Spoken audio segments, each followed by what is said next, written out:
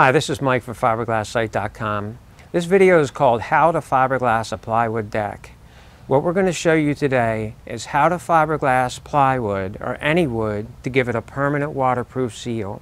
This method can be used on the deck on your house, the roof over the deck on your house, the deck on your boat, even the entire roof of a houseboat. Anywhere where you want to waterproof wood with fiberglass to give it a permanent waterproof seal.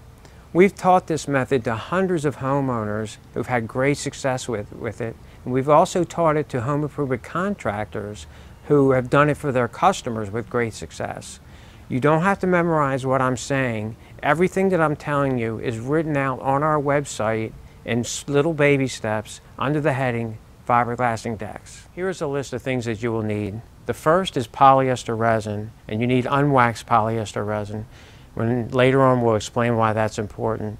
When you get the resin from fiberglasssite.com, it's unwaxed polyester resin. It comes with enough hardener, the measuring cups to measure out the hardener, and on back of the can is the mixing directions. Next you'll need chop strand mat. You're going to use two ounce chop strand mat. You'll need laminating rollers and squeegees. You need various size paint rollers. You want them with a very thin nap and to be disposable. You need mixing buckets and you need a mixing attachment, a paint mixing attachment for your drill. You, you can mix it by hand, but it's much better to mix it with a mixing attachment for your drill. It saves time and it gives you a better to mix. cut the mat. Either regular scissors or electric scissors. Depending on your deck, you may or may not need caulk and Bondo wood filler. We'll show you that later. When you're doing this, you want your skin to be completely covered. You should wear coveralls, gloves, and a respirator and eye protection. The very last step is to seal the deck. You can use either gel coat or boat deck paint. If you get the gel coat from us, it comes with a hardener, wax, and directions. We'll explain about right, the there, wax There are two ways to deal with the posts that come up through the deck. Um, the way I prefer is to just caulk around them and when you do your primer coat, which we're going to show in a minute, just prime right up over the, the line of caulk. The second way that you can deal with the post is that you can, after you do the primer coat, you can cut individual strips of fiberglass and fiberglass three or four inches up the post on each side. You would, you would cut this piece, you would cut a piece like this, and you would go all the way around the post. This is really not necessary. Some people like to do it that way. I think that just caulking around the post and then fiberglassing right up to the caulk, right up over the caulk, is good enough. You need to caulk the gap where the deck meets the house, and so that, uh, and then you're going to fiberglass right over that. So this is how you do it. One nice clean thing, and smooth it out with your finger. Now, if you're not going to fiberglass up the, up the wall, you would use clear caulk to do this. You need to caulk around the post. Um, if you're going to fiberglass up the post, you can use any type of caulk. If you're just going to fiberglass up to the post, the way we recommend, you would use clear caulk. I want to use white caulk so you can see what I'm doing. You just make a nice, put a nice heavy bead of caulk all the way around the post and then smooth it with your finger.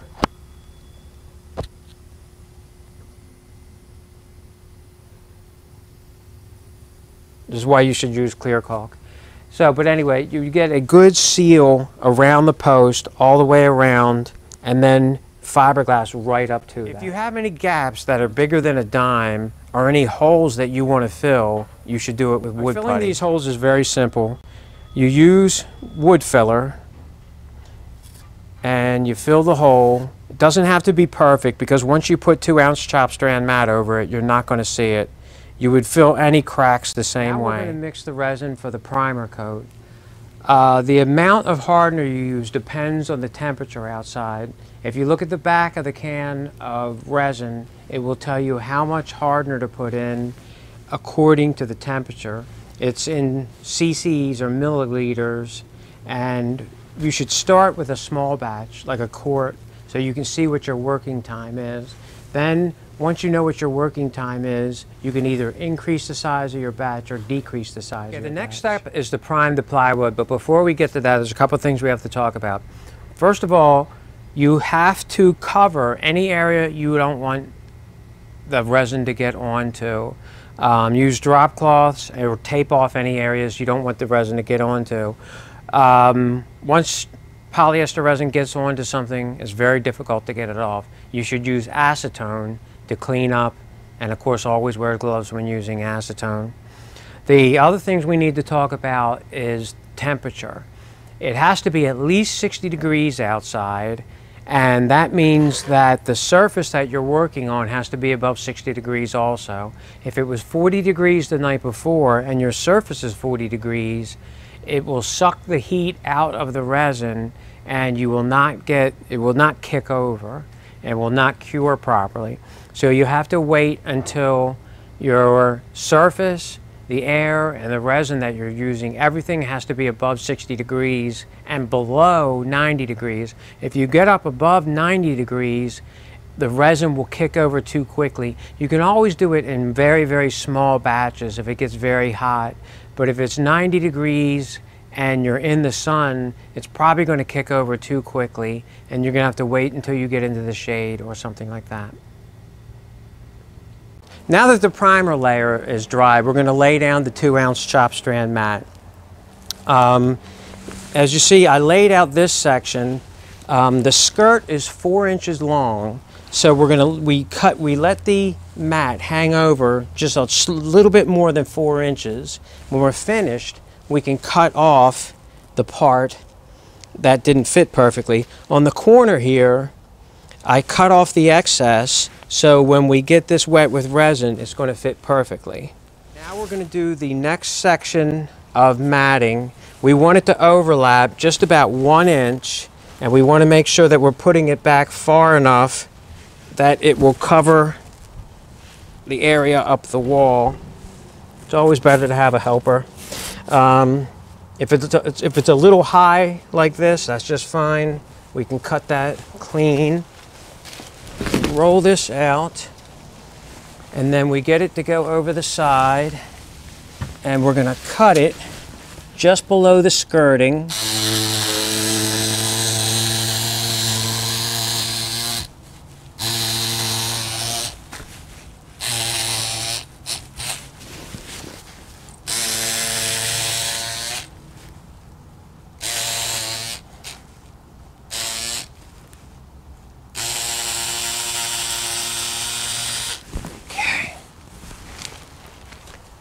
Now for a very large deck, you can do, you don't have to lay out all the mat at once. If you're doing a deck that's 40 feet long, you can just do one section of the deck and then because it's unwaxed, the great thing about unwaxed polyester resin is you can let that dry and come back the next day and it's still going to be slightly tacky and you can do the next section.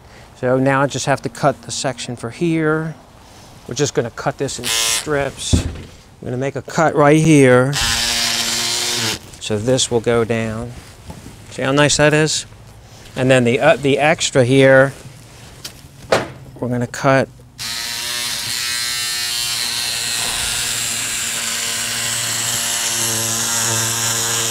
We leave a little over because we can cut off the rest of that off later. Now all the matting is laid out properly. So we're going to pour the resin in a strip and we're going to start moving around with the roller. Well, we saturated the two ounce mat over the entire uh, deck. As you can see, when the mat gets wet, it will go around the corners like it's supposed to. It did around the, you know, all of the corners. Um, back there where you see the white line, that's not an air bubble. That's the caulk that we put across there. Uh, that's why, well, it's not going to matter when once we gel coat over it. So clear caulk, white caulk, it doesn't matter because we're going to put a beautiful gel coat over it. So now we just leave this alone. Uh, we're going to leave it alone overnight and pick up tomorrow. And we're going to do uh, one kind of gel coat on this side and a different kind of gel coat on that side. Now so we'll see you gel tomorrow. coat. We're going to do two layers of gel coat. In the first layer of gel coat, we are going to use just hardener, no wax, and we're also going to thin it down with acetone. We're going to thin it down about 10% because the first coat, you want it to be fairly thin. Then in the second coat, uh, before we add the hardener, we're going to add the wax additive.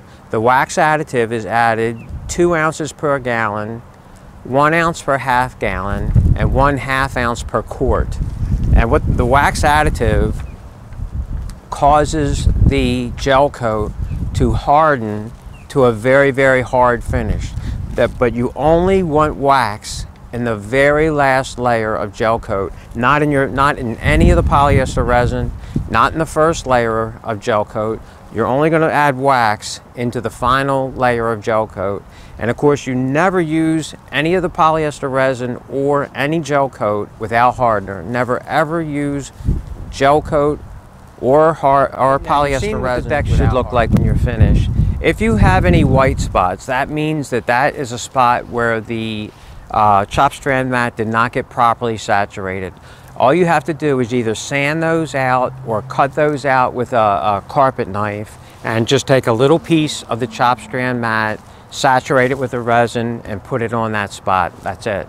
Um, if any white spots, cut them out, sand them out, put a patch of two ounce chop strand mat and polyester resin on it. Okay, let it dry. Now we're gonna mix our first coat of the primer coat, the thin coat of gel coat. We're only gonna use the hardener, no wax, and we're gonna thin it down with 10% of acetone. Um, 10, uh, there's 128 ounces per gallon. The 10% would be 12.8. Uh, so for a gallon, you would use 12.8. For a half gallon, you would use about six or seven. For a quart, you're going to use about between about three and a half to four ounces of acetone. So we're going to put the acetone in.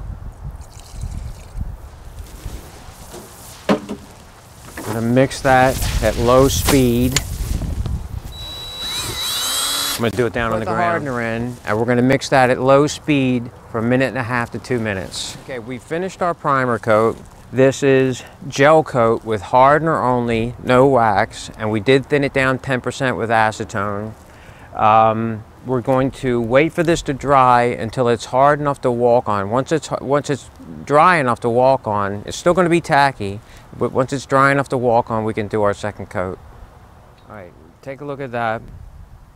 All right, what we did was, a lot of people ask us about colors.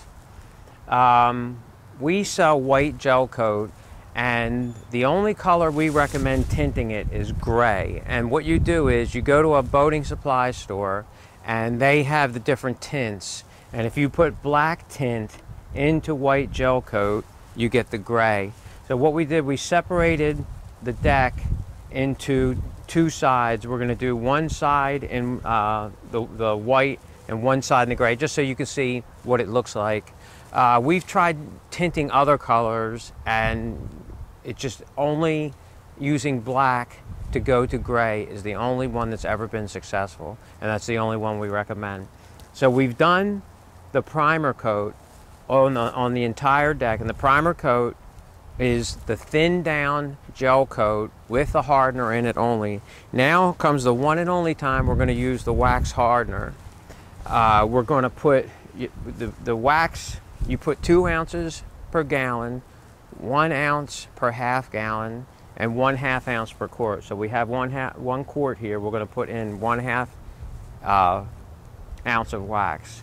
And what the wax does, the wax rises to the surface as the resin is curing and causes it to cure to a very, very hard finish. And we're going to also add of course, we're going to add wax to the gray gel coat as well. And of course, we're going to add hardener. But you add the wax, then the hardener, then put it on. This is the quart. Uh, this is our final coat. We didn't thin it down. We put wax in first then hardener. We roll it on, and this is our final coat. We're going to do the white side first. Okay, so we finished the top coat on the white side. Um, As it's curing now, the wax is rising to the surface. The, ax, the wax will cut off the air to the resin. When the resin is, when the uh, gel coat is starved of air by the wax, it will cure to a very, very hard finish. Cut. Okay, recall in the beginning that we did a caulk line around the post and up against the house before we did the primer coat. Then we did the primer coat over top of the caulk and we brought the two ounce chop strand mat over top the caulk. You can't, you might not be able to see it, but it is watertight now. You could hit this with a fire hose and water would not get in between that caulk. I believe that's the best way to go. Okay, this is the white gel coat that we mixed in the black tint to get to gray. Uh, of course, we put wax in here and hardener, and let's see how it looks. Okay, so we did the gray and the white, and you can really see the contrast. It's going to look great when it's finished. Um, I used a black tint designed for polyester resins and put it into the gel coat. Um, depending on whether you use a liquid tint or a paste tint, you're going to use a different amount. I used a paste, a concentrated paste tint, and I used a whole ounce in a quart. That's why we got this very dark gray. Um, so depend, you can get, at most boating supply stores, you can get the tint for polyester resin or gel coats. I never ever put tint in polyester resin. It looks terrible. You have to seal your deck with gel coat. And if you want to get a color on your deck, you're either going to have to use a tint, and I only recommend using black to get the gray.